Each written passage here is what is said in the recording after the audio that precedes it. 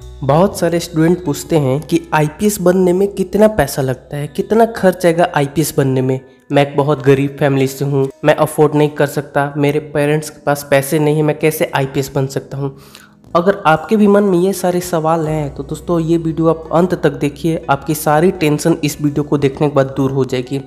इसलिए आप इस वीडियो को पूरा ज़रूर देखिएगा। मेरा नाम है आयुष और आप देख रहे हैं आयुष सरीना यूट्यूब चैनल चलिए वीडियो को शुरू करते हैं। देखो गज आईपीएस बहुत सारे स्टूडेंट का सपना होता है कि वो पढ़ाई लिखाई करके आईपीएस ऑफिसर बने, खुद का नाम रोशन करे, अपनी फैमिली का नाम रोशन करे, अपने गाँव का नाम रोशन करे। लेकिन बहुत सारी चीज़ें ऐसी होती हैं जो कि उनको नहीं सही से पता होती हैं और इसकी वजह से उनके मन में बहुत सारी दुविधा होती है, बहुत सारे क्वेश्चन होते हैं जिनका उनको जवाब नहीं मिल पाता। और मेरी हमेशा ऐसी कोशिश रहती है कि मैं अपने वीडियोस के माध्यम से आपके मन में जो भी डाउट्स है उसको क्लियर कर सकूँ। तो बात आती है कि आईपीएस बनने के लिए कितना पैसा लगता है, कितना खर्च होता है? क्या आईपीएस बनने के लिए बहुत सारा पैसा होना ज़रूरी है? क्या जो गरीब छात्र हैं, जो गाँव से पढ़े हुए हैं, जो हिंदी मीडियम से पढ़े हुए हैं, क्या वो आईपीएस बन सकते हैं कि नहीं बन सकते हैं? तो देखो भाई, सबसे पहले जान लेते हैं कि आईपीएस बनने के लिए आपको कितनी क्वालिफिकेशन चाहिए? यानी कि आपको कम से कम कितनी आपकी पढ़ाई पूरी होनी चाहिए, तब आप एक आईपीएस बन पाओगे।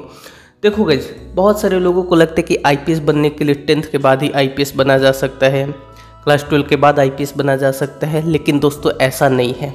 अगर आपको आईपीएस ऑफिसर बनना है तो दोस्तों आपको अपनी ग्रेजुएशन कंप्लीट करनी पड़ेगी। ग्रेजुएशन मतलब कि क्लास ट्वेल्व के बाद जो आपकी पढ़ाई होती है कॉलेज में, जो कि B A B com B S C B tech M B B S C ये सारे कोर्स होते हैं, इसी को ग्रेजुएशन कहा जाता है।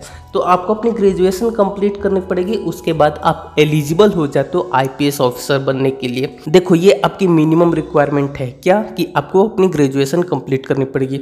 अब कितना पैसा लगता है, ये डिपेंड करता है आपके ऊपर कि आप कितना पैसा लगाना चाहते चाहते हो?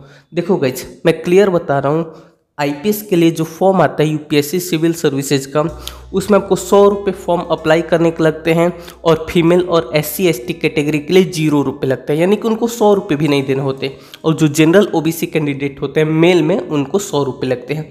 इसके अलावा आपको एक भी रुपया देने की ज़रूरत नहीं है। अगर आप लगाना चाहो तो लाखों रुपए लगा सकते हो, अगर आप नहीं लगाना चाहो तो आपको एक रुपये भी लगाने की ज़रूरत नहीं है।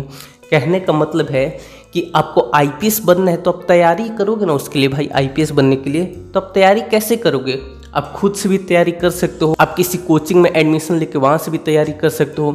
आप खुद से तैयारी करोगे तो उसका क्या खर्च आएगा? कुछ खर्च नहीं आएगा। बस आपको कुछ बुक्स खरीदनी पड़ेंगी, उसका जो खर्च आएगा। और ऐसा तो है नहीं कि बुक्स बहुत ज़्यादा लाखों रुपये में मिलती है। ज़रूरी नहीं कि आप नई बुक्स लेके ही पढ़ाई करें। आप सेकेंड हैंड बुक्स लेके भी पढ़ाई कर सकते हैं। आपका कम पैसे में हो जाएगा।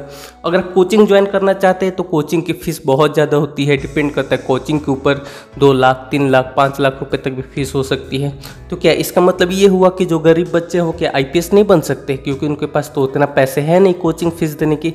लेकिन मेरे दोस्त ऐसा बिल्कुल भी नहीं है। बहुत सारे ऐसे स्टूडेंट हैं, बहुत सारे ऐसे कैंडिडेट हैं, जिन्होंने सेल्फ स्टडी करके यूपीएससी का एग्ज़ाम क्लियर किया और आज एक आईपीएस ऑफिसर है। तो ऐसा बिल्कुल भी मत सोचिए कि आप गरीब परिवार से हैं तो आप आईपीएस नहीं बन सकते।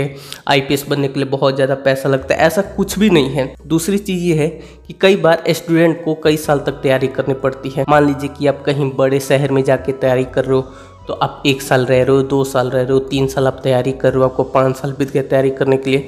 तो भाई आप तैयारी कर रहे हो तो वहाँ पे रह रहे हो तो आपको किराया देना है रूम का, आपको खाने का खर्च है, रहने का खर्च, और भी आपके कुछ पर्सनल खर्च हो सकते हैं। अगर आप किसी कोचिंग में रह रहे हो तो हर साल उसकी फ़ीस है। तो वैसे तो खर्च आप जोड़ोगे तो बहुत ज़्यादा हो सकता है, लेकिन बहुत सारे स्टूडेंट ऐसे हैं जो कि सेल्फ स्टडी करते हैं, खुद से ही पढ़ाई करते हैं और आजकल तो नेट पे सब कुछ अवेलेबल है। यूट्यूब पे बहुत सारी वीडियोज़ हैं जो कि आप फ्री में देख सकते हो। आपको उसके लिए एक भी रुपये देने की ज़रूरत नहीं है।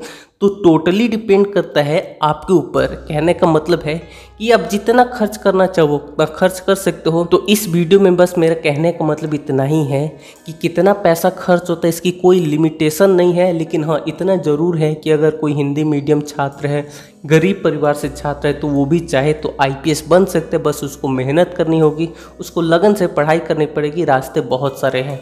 रुकावट आप देखोगे तो बहुत सारी रुकावटें हैं। लेकिन अगर आप अपने लक्ष्य पर फोकस करोगे तो दोस्तों सभी रुकावट आपके रास्ते से हट जाएँगी।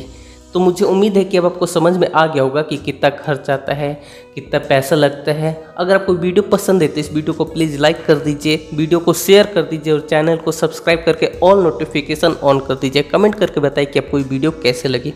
आप सभी ने इस वीडियो को देखा आपका बहुत बहुत धन्यवाद।